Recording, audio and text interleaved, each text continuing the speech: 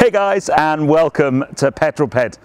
And welcome to Newtown, Mid Wales. Yes, I am actually at Electric Classic Cars where we filmed Vintage Voltage because all throughout filming there was a car that was often in the workshop in various states of um, build and it's behind me. That may well look like a normal VW Beetle, but it's not. Oh no, it's had a little bit of Electric Classic Cars and Moggy madness sprinkled onto it.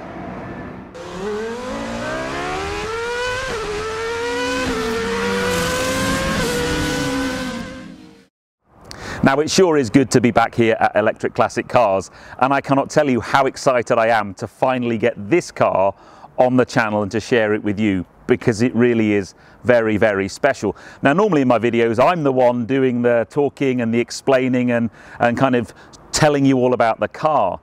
But I'm not the expert on this car, but Moggy is. So I'm going to go inside, find Moggy, drag him off of whatever job he's doing, in the workshop and get him to walk us around this car because when we did his crew cab um, and that was back end of last year early part of this year um, there were quite a few comments about we want to know more about the details more about the actual work. So we're going to go overboard on this one. I'm going to tell you everything there is to know about this car um, in terms of how it was done the power the challenges everything. And then with a bit of luck we might take it up the road for a, for a spin because it's madness, utter, utter madness. You'll recognise this chap, Moggy. Good to have you back on the channel, my friend. Good to see you, mate. So I'm finally back here in Wales to get my hands on a car I've wanted to drive for a while. Well, you're going to drive it. Well, I'm going to experience it. we'll I don't know see. whether I'm brave enough to drive it, to be honest. So you may or may not know, but we've known each other for a long time. Longer than longer than I tend to. Actually, longer than I can remember now. I know, 'cause longer that than I can remember. Yeah. So we were at university together uh, in like 1990 to 93, 94. When it was all still in black and white. Yeah, pretty much. And at that time, this chap had a Beetle. Now, the Beetle we're going to look at today isn't the same Beetle, but you still have that Beetle. I do indeed. But an absolute Beetle nut, air cooled nut. was And at some point in the past, you decided to go electric and put a 600 horsepower Tesla drivetrain in a Beetle. Correct. Yeah. And I thought you guys would like to see the car, but the best person to talk around the car and to explain everything is you. no, it's you, mate. Oh, it's me, is so? Right, so Moggy's going to show us around the car. So uh, let's take a look because it's it's quite special, and he's Just quite like special. Right then, the beast. So first thing I had to sort out before I even thought about putting 600 horsepower into this thing was how is it going to be able to cope with 600 horsepower and the speed that comes with it. So the first thing I did, get you know, coming from my sort of like rallying background and uh, things like that, is lighten the car up because whenever you drop weight off a car, that's free power. So the first thing I started looking at is things like you know weight saving. So we put carbon fibre bumpers on the front, uh, fiberglass wings on the front, and you know around the car in different places. We we just lightened it up. The car ended up being about thousand kilos with everything on it. So it's a 600 horsepower per ton vehicle. This is. So we're talking about hypercar territory. wow. So there's a lot of lightning uh, that's gone into this car, and I'll touch on those. But the other thing that's worth mentioning now at the front as well, apart from the LED headlights, which obviously, you know, really uh, improve the lighting uh, compared to the old candles in the wind like the old car, because this is a daily driver. This is not like you know something that's you know covered in a a cloth for you know all of its life and two days in the summer it comes out. This I drive this back and forth to work. Um, so the other thing is aerodynamics. Um, a Beetle has never been known to be an aerodynamic um, wizard, so uh, we had to do some aerodynamic changes to keep the car planted at higher speeds. Yeah. So, for instance, we've got an air dam at the front, and uh, at the back there's a spoiler, and that really helps to keep the car down, planted on the ground uh, above 100 miles an hour. So so these cars stop. What what was the power and the top speed? Because it wasn't 600 Uh, no, it was uh, 45 horsepower originally in this car. Um, and I remember the days back in college when I was with you, um, when I was looking for things like, you know, 10, percent more power. Oh, I'll put some Dellorto carbs and. I put a, a bigger, like, bug pack exhaust on it. And now it's like 65 horsepower. So, you know, you were pushing 5%, 10% like improvements. And the thing is with electric power is, you know, back in petrol days, um, it was, you know, you're chasing more power, more power, more power. But with electric, you're not chasing more power. You've actually got too much power. It's all about traction with electric. Yeah. So we're not chasing more power nowadays. It's just like how on earth do we get this amount of power down to the ground? So that's what I've been concentrating on lately. Uh, what's the battery pack in this?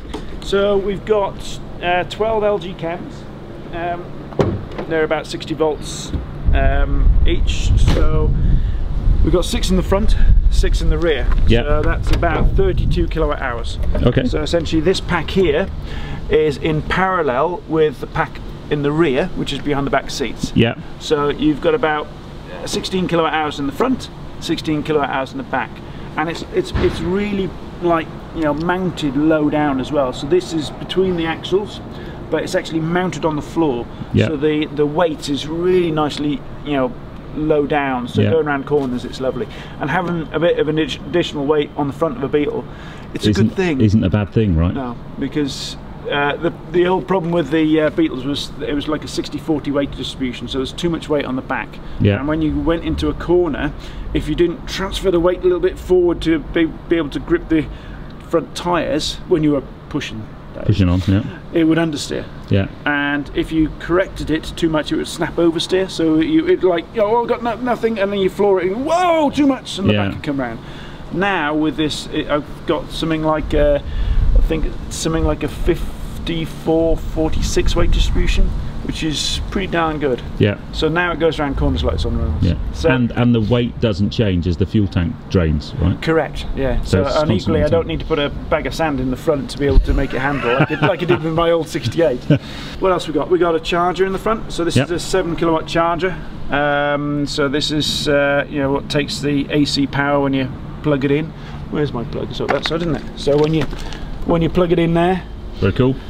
So seven kilowatt charger. Uh, also got a DC converter in here, so that's essentially taking the high voltage of the main battery pack and it's taking that down to 14 odd volts to charge up the 12 volt battery, which is just underneath that panel there. You can't quite see that. Um, that's one of the high voltage connections, so that's just connecting the batteries that are in there to the rest of the high voltage system. Um, do I spy some Porsche brakes You do indeed. Well spotted, sir. So and some Porsche wheels by the looks of it? yeah, yeah, you've got to have some wide wheels on this, otherwise, you know, 600 horsepower with original Beetle wheels and tyres Yeah. would be hilarious. Frightening. Uh, so you got uh. Porsche 997 brakes on the front. Uh, we've got some uh, wheels um, off a Porsche. I can't remember which one. Probably a Boxster or something like that. But uh, they're seven inch on the front, nine inch on the rear, and some Yokohamas, which have seen better days now because I've ruined them. How, how would you ruin them, mate? I've, Oh, I've not dunno. seen these. No. No, just- Traction issues. Traction Yeah, issues. traction Those seats are lovely. They are, aren't they? They're absolutely beautiful. Uh, they're, they're carbon fibre as well. Yeah. So carbon fibre seats, uh, polished aluminium frames on them. So again, they're nice and lightweight because I just wanted to something that would hold me in place, but equally, you know, was nice and lightweight. Yeah. They're adjustable front and back, and you know, the, the fact that you can do that means that the kids can get in the back when they're brave enough. Yeah.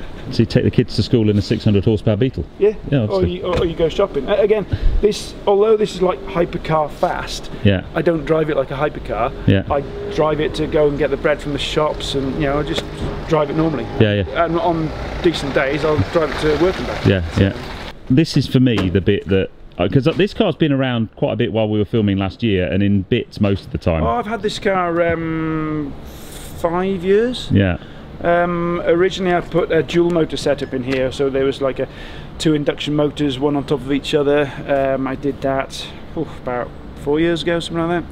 I bought this car f- for 300 quid. So seriously, w- when I bought it, um, you could stand in the car and your feet would be on the ground because there was so much rust inside. The floor pan had rotted away, and literally one one foot would be on rust, the other foot would actually be on the floor. so it was a, a project. Let's Yeah. say 300 quid. So.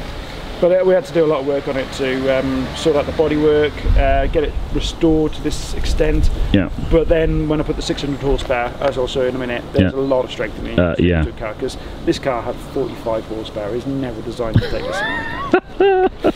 right, before I show you the money shot, yeah. let's just cover off some other bits and pieces. So lightning again. So Lexan windows, Yes. aerodynamics at the back. Now this little kick spoiler here doesn't look like much, but it has a hell of a like impact above 100 miles an hour. I've driven Beetles and drag raced them, and above 100 miles an hour, it, they really become like light. You know, Yeah. it's horrible, quite frankly. But this, I've done 140 on this um, on a runway a couple of weeks ago, um, and at 140 miles an hour, it just felt like a, a you know a modern Beamer on the motorway. Wow. Solid, planted. I could let go of the steering wheel, uh, and it was just lovely. Wow. So yeah, 140 miles an hour before I ran out of um, Runway. bravery. and bravery. no, no, I, I've not known you run out of bravery, mate. So, but yeah, planted because of the aerodynamics. So you've got the air dam at the front, this little spoiler here, which it stops all the air coming down here Yeah. and wanting to suck up the rear like that. Yeah. So having it to spoil the air like that, it just you know it avoids that whole vacuum like sucking up, Yeah. up here. You didn't think of like a big kind of 911 whale tail type thing. They look rubbish, right? Nah, on, me on a bit. nightmares. Yeah. Come on then, money shot. Bring it on. Aerodynamics, uh, I've covered off lightning and ta-da! Mate. the business end. So that is a Tesla large drive unit out of a performance um, Model S. So that's giving me 600 horsepower and what's that? It's about 650 newton meters of torque, which is around about 480 foot pounds of torque in old money. So those, do you have to change the software to get them up to 600? Because the No, no, or The um, the difference between a, a normal Tesla motor. So in my sensible car, my my VW bus. yes, got- which we've seen on the channel already. Exactly. So that's my sensible side. That's 450 horsepower in a 1969 VW crew cab. It looks exactly the same motor, but the difference between that and a performance motor is the inverter. So the motor is exactly the same. Yeah. It's just the inverter that can cope with more amps. So Right. more amps means more power. Yeah. So the inverter is different in a performance drive unit. So off the shelf at 600 horsepower, you can tune them to be higher, but there's no point because you struggle to get 450 horsepower down to the ground, let alone 600. So going bigger is just silly. Yeah.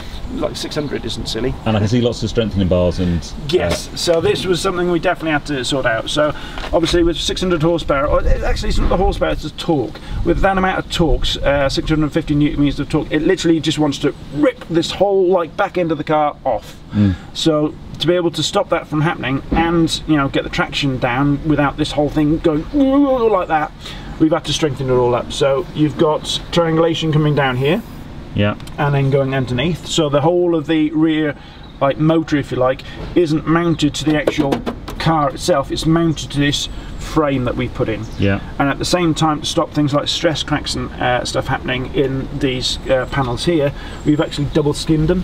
So these these panels here actually have a secondary skin in, which you could probably see from inside the wing, Yeah. uh, which just strengthens everything up again. Wow. So there's a lot of strengthening we've had to uh, think about and put in place, um, and these get triangulated up into uh, a very strong place in the body.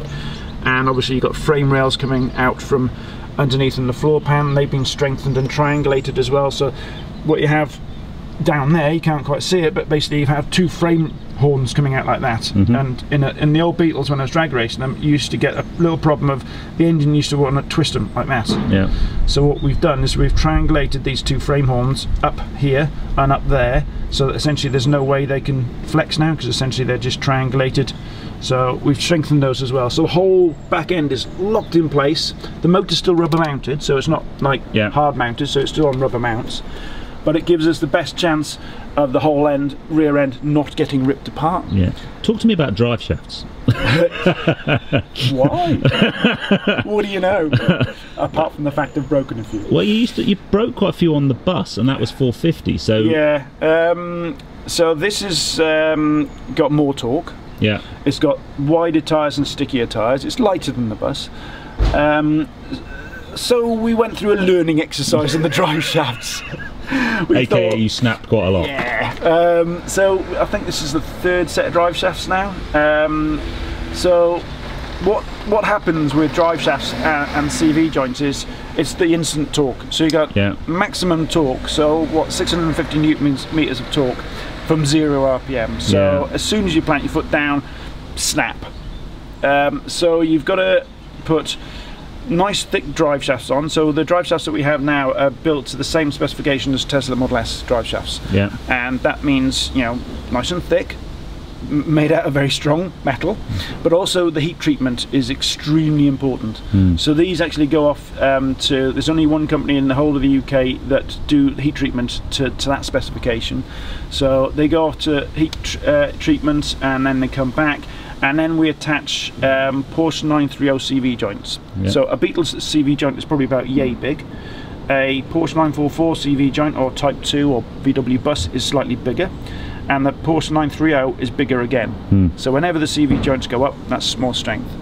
And what we've also done is we've got race spec Porsche 938, uh, 930 CV joints, which means that the, the cages on the CV joints are built out of, you know, something very special. Unobtainium. It, it exactly.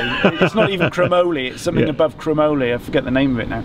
Um, but the, the whole CV joint is um, a race spec CV joint that's um, made for the um, uh, the Baja races and people like that in the states. Oh, wow. Um, so, and I've not been able, able to destroy these yet. I've tried, Well, but so far they are moggy proof.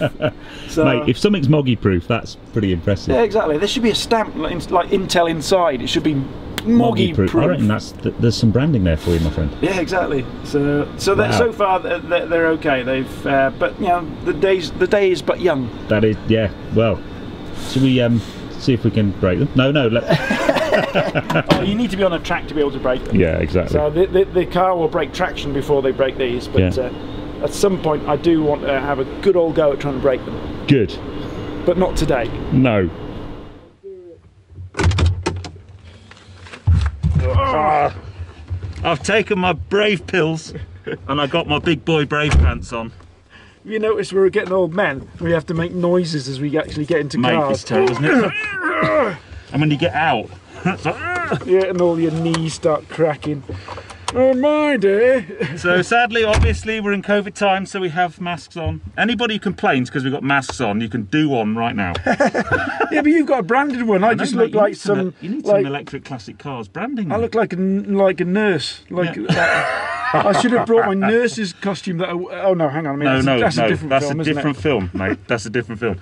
Um, now I'm going to uh, freely admit that I've never been in a Beetle before. Haven't you? No, it's my Well, I've got to warn you, they're quite slow, and Yeah, you, know, you might heard, be a bit bored. bit wheezy. So no clutch, just put your foot down, and away you go. No power steering. It's man man steering, Proper steering. proper steering, and that's it. Uh, suspension wise, we've Lots of things we've done, on lots of things on suspension. uh, so to make it handle, well, first of all, it's a 1303. yeah. uh, Beetle that is. So 1303 has MacPherson strut suspension on the front, Yeah. not a beam um, suspension. Yeah. So you're already starting with some suspension which has the ability to handle better than a beam suspension. Yeah. The beam suspension is pretty good, but MacPherson's better.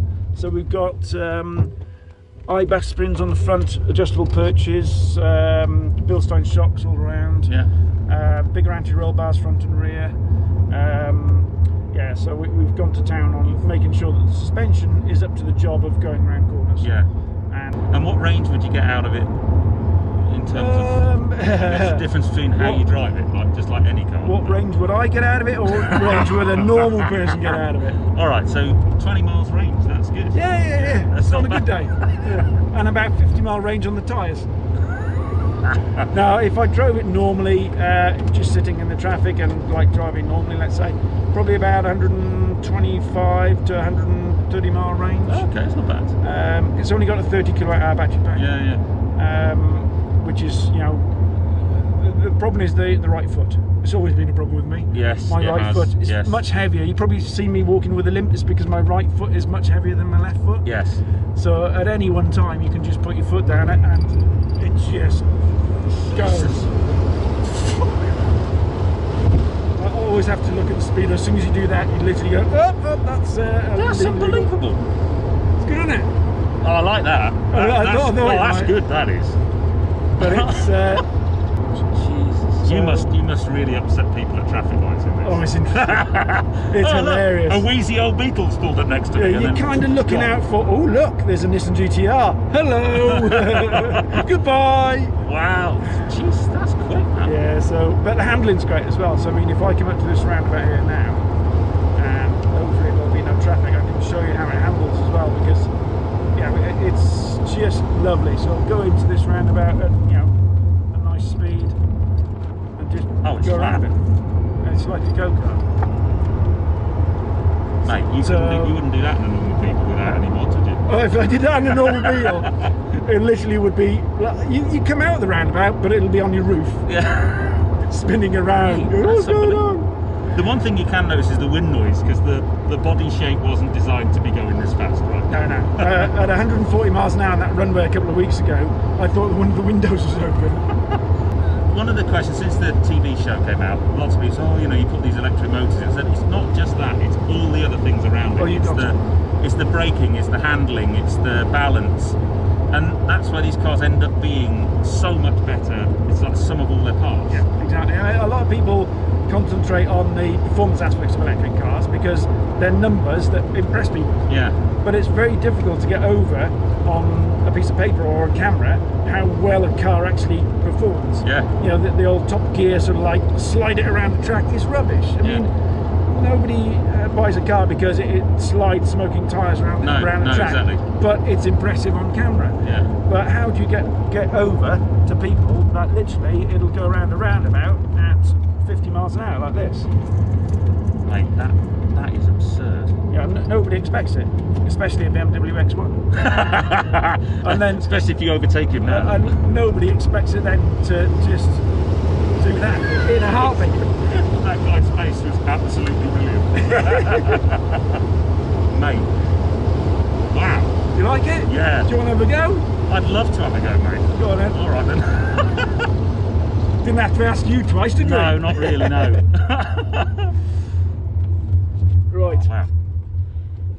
Right, so this is my first Beetle drive. It's a good way to start. Just isn't be it? gentle with the throttle. That's I all I'm saying. Because although this is a Beetle, it's actually hypercar quick. Yeah. So just be gentle until you're used to it with the accelerator. But apart from that, have fun. I don't know if it's to get in the passenger seat or just like wait on the side of the road. The passenger seat. Definitely getting. Oh, he's getting overlooked. I see what you mean by the, the steering being mildly heavy. It, it's better than going to the gym, but once you get going, it's fine. But you can drive like Miss Daisy, like no problem. But as soon as you start Oh, mate. foot down, That's unbelievable. it's, it's, it's a nice And feeling. that, that's about five or ten percent. Oh yeah, you just You're you're just just stroke, on it. stroking the Yeah, throttle. yeah, yeah. If you floor it, you'd be It's, it's funny because I drive lots of very, very fast cars, and you, a lot of them will drive quite nicely. But if you just smash a throttle, you're going to get into trouble. But this feels like if you smash it, you really are, really are going to get into a lot of trouble. Oh, yeah, yeah. Quite quickly. But yeah, do you use these cars almost like a test bed for, for the customer cars? And Yeah, to try kind of. technology I- I- out and when- see what can be done. So with my cars, I try to push the technology because with a customer car, you never want to push the technology because essentially it might impact a little bit on the reliability, but also on uh, the time frame of a project for the customer. So you always want to do your R and D and your test beds. Just go straight on Yeah. um, on your own vehicles. Yeah. So with this, I thought, right, let's push it. Let's see from a performance point of view how much we can push it. And we'll bleep that bit out. Mate, It's good, isn't it? That is unbelievable. I'm, I'm gutted we've got masks on because the look on my face then was probably, you just got the whites of my eyes going, Yeah. what the, You, you saw your mask drop a little bit as your mouth opened. what a thing. It's an absolute weapon on the road. Once, So- you, once you're used to it, you, get- you're used to how much power you got and also the limit of the handling. Yeah. This will just blow away anything on the road. So this, having driven the Ferrari, this feels way faster than that. Oh yeah, Um, yeah. Go go around the roundabout again and floor up the hill because then you'll get the full impact of the torque up a hill as well. Yeah. So this this is Oh, there we go. a bit of traction control hitting it there. Wow. You know that? Yeah. And that's just a, it's quite progressive actually. Yeah. It wasn't, it's a tiny, tiny bit, but mate, that is, I mean th- this but it is feels so much faster than the Ferrari and I thought that was great. Well, the uh, Ferrari got that 0-60 down to 2.7 seconds. Um, and that's with a 450 horsepower motor in it. This, um, if I sort out the traction, get stickier tyres on, and take it to a track, it should do 0-60 in about two seconds. but, but I need sticky tyres to do that because power is not what it's about at the moment. It's about traction. Yeah, yeah. So with these road tyres on, 0 to 60, 3.2 seconds, repeatability, bang, bang, bang, Yeah, yeah. every day of the week. Yeah. Just not 3.2, no problem, as long as it's not wet. But to get it lower than three seconds and quarter miles in the tens, it needs stickier tyres on. So This car in the wet must be hysterical and it's, mildly it's, terrifying. it's, it's quite uh, a handful. Well, thank you for letting me drive. I didn't honestly uh, expect to drive it because I know it was a right handful, so um, I appreciate that very much. That's right. it's wicked. You like it? I do very much. You I wanted can't, to, can't have it. I've wanted to get this car on the channel all the way through filming when it was in bits and there was wings on the shelves and stuff. I was like, when that's back on the road, I'm going to get it on the channel. So, mate, thank you very much. That's right. Gonna, do you want to do an 0 to 60? We yeah, should do. Yeah, we should do. You driving it then. Oh, okay. Right then, 0 to 60 test. Ready? Three, two, one, go. 60. Three and a half seconds. There you go. There's a bit of traction off the line there. It's uh, That's outrageous. spinning the tyres at the uh, start there. Well, that was a good way to finish the film, my friend. You like that, yeah? I did like that indeed, mate. It's just good, to be, good to be back in Wales. It's always good to be back in Wales, mate. It is, mate. It is. And with silly cars like this on the road, It is. it's uh, even better. It is, mate. Well, guys, I hope you enjoyed that. If you have done so, please give me a thumbs up. Comments below are always welcome. If you haven't done so already, please subscribe to Petrol Ped for plenty more content to come. I'll put electric classic cars, all their Instagram and social details. Follow these guys. Amazing cars going through the workshop at the moment. That's all I need to say. Why else am I in Wales? There you go. Um, but yes, wicked, mate. Thank you for that. No problem. I'll see you on the next film, guys. You take care. We're still alive. We Drive safe. We are still alive. Only just. Yeah, drive safe, everyone. Yeah, drive safe, Moggy. Will do. Be I'll try my sensible. best. Yeah. Whee! Música